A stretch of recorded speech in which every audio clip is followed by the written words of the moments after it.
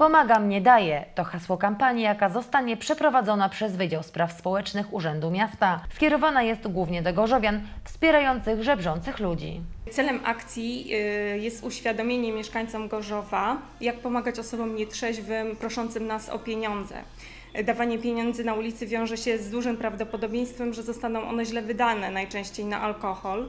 Dlatego też chcemy uświadomić mieszkańców Gorzowa, że można skuteczniej pomagać, na przykład przekazując 1% podatku na organizacje pożytku publicznego, y, wspomagając darowiznami organizacje y, pozarządowe lub też po prostu informując osobę potrzebującą, gdzie może się zgłosić i gdzie otrzyma określoną pomoc. W ramach kampanii do mieszkańców trafiać będą specjalne ulotki ze wskazówkami potrzebujących w inny sposób. Chcemy y, y, skierować do mieszkańców Gorzowa ulotki z danymi teleadresowymi instytucji, które pomagają takim osobom. W ramach współpracy nawiązanej z Gorzowskim Centrum Pomocy Rodzinie i Polityki Społecznej na ulicę ma wyjść tak zwany street walker, który będzie właśnie już bezpośrednio do, docierał do tych osób potrzebujących. Wydział będzie współpracować ze Strażą Miejską, której zadaniem jest patrolowanie ulic i dbanie o porządek, a także bezpieczeństwo mieszkańców miasta.